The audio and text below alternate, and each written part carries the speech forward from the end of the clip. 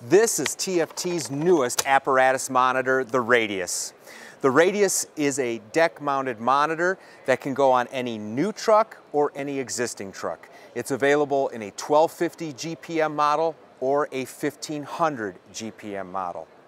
When it comes to rising above any obstacles on top of the fire truck or the apparatus cab itself, the Radius is a perfect solution because it has the ability to rise two feet above the deck of the truck.